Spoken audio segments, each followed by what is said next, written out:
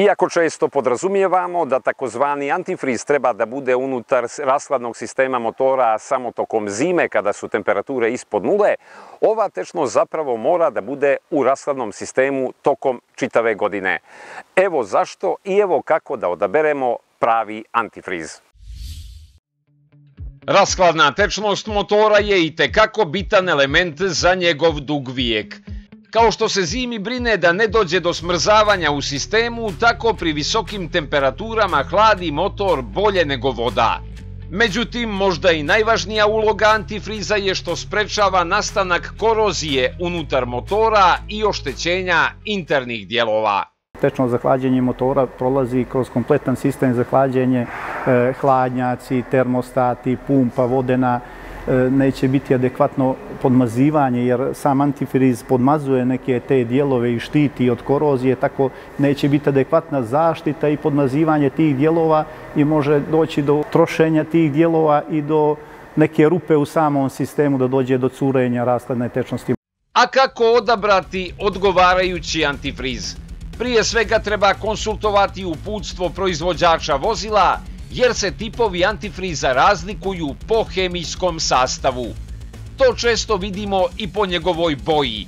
Onaj zasnovan na neorganskim kiselinama najčešće je zelen, onaj sa organskim ima naranđastu boju, onaj u kome ima silikata je žut, antifriz koji ima fosfate je ružičast ili plav, a onaj koji ih nema je tirkizno plav. Neodgovarajući antifriz nije kompatibilan sa materijalom od koga je napravljen motor, pa može da mu nanese štetu.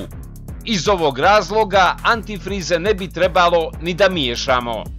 Najbolje je da eventualni manjak tečnosti nadoknadimo destilovanom vodom.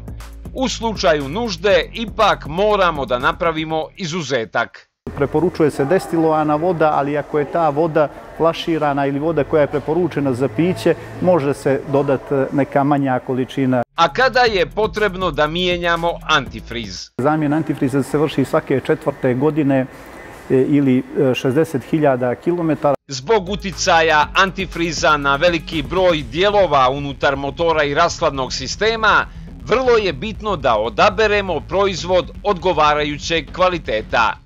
Upotreba antifriza neprovjerenih proizvođača i sumnjivog kvaliteta može da donese možda jednokratnu uštedu, ali na duže staze se uopšte ne isplati. Zato je preporuka koristiti proizvode renomiranih proizvođača, kao što je, na primjer, ovaj Shellov antifriz.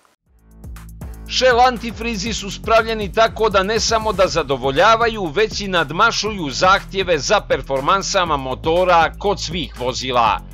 Osim što efikasno preuzimaju toplotu iz motora i tako sprečavaju pregrijavanje, a zimi imaju izvanredna svojstva protiv smrzavanja, ovi antifrizi se odlikuju izuzetno dugim servisnim intervalom. Također Shellov antifriz je kompatibilan sa elastomerima, to jest zaptivnim masama u motoru, pa je onemogućeno curenje. Ovi antifrizi sprečavaju oštećenja pumpe za vodu, njeno habanje i koroziju, kao i stvaranje mjehurova. Također u Shellu tvrde da njihovi antifrizi štite obloge cilindara od oštećenja i pomažu da motor bude efikasniji. Shell antifrizi posebno štite i izmjenjivače toplote, to jest hladnjake, i pružaju efikasnu razmjenu temperature.